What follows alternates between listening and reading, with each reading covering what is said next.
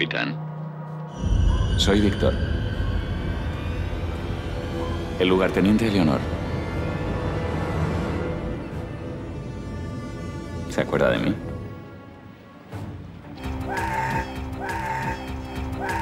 Capitán, hay gente. Éramos 20 personas en la balsa. Cinco personas murieron por las heridas en los primeros días. Dulce, cariño. Tranquila. Mírame. Tú sabes que nosotros confiamos en ti, ¿verdad que lo sabes? Por eso te trajimos con nosotros, ¿te acuerdas? Pero has puesto en peligro nuestra misión. Y eso no lo podemos consentir. Porque significa que tendríamos que quedarnos aquí para siempre.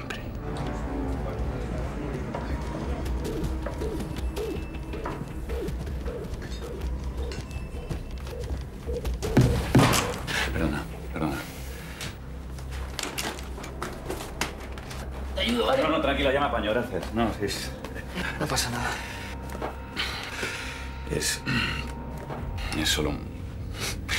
Un poco de ropa sucia. Total, iba a hacer la colada. No, pero que no pasa nada, hombre. A ver, que voy a la lavandería, que tienes que ser un licenciado para utilizar esas lavadoras, no te preocupes. Te lo agradezco mucho, Ulises, pero ¿sabes lo que pasa? Que. ¿Qué? Que si no ayudo en el barco me siento como un auténtico inútil.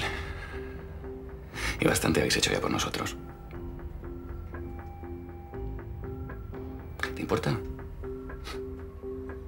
ver si me sueltas el dedo. Ah, perdona.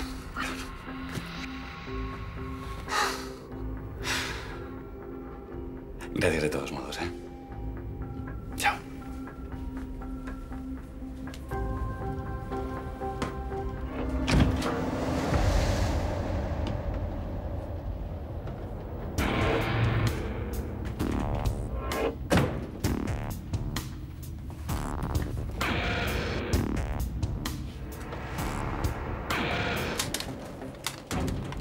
Vinimos para una misión de 24 horas y llevamos aquí tres días. Hemos perdido las comunicaciones por una niña de 5 años.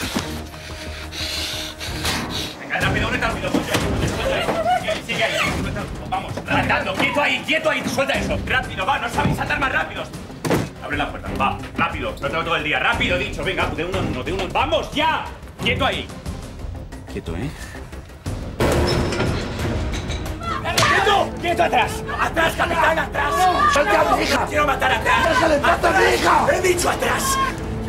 ¡Víctor! Ven aquí. ¡Suéltala ya! ¡Suéltala ya! ¡Suéltala ya! ¡Ya! ¡Tranquilo, tranquilo! Hijo de puta. ¿Cómo se encuentra?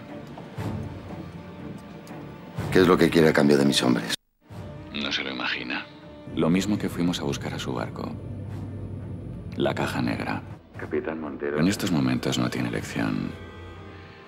Si no nos da la caja negra, primero mataré a su primer oficial. Dentro de dos horas depositará la caja negra en un bote a la deriva. Si hace lo que le digo, cuando tenga la caja en mi poder, le devolveré a sus hombres. Vivos. ¿Ha entendido todo lo que le he dicho, capitán? Perfectamente.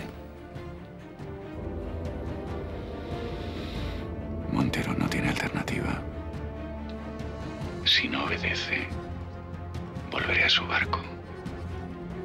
Me llevaré a Julia. Después, me llevaré a su hija. La verdad es que no tengo ningún motivo para perdonarles la vida.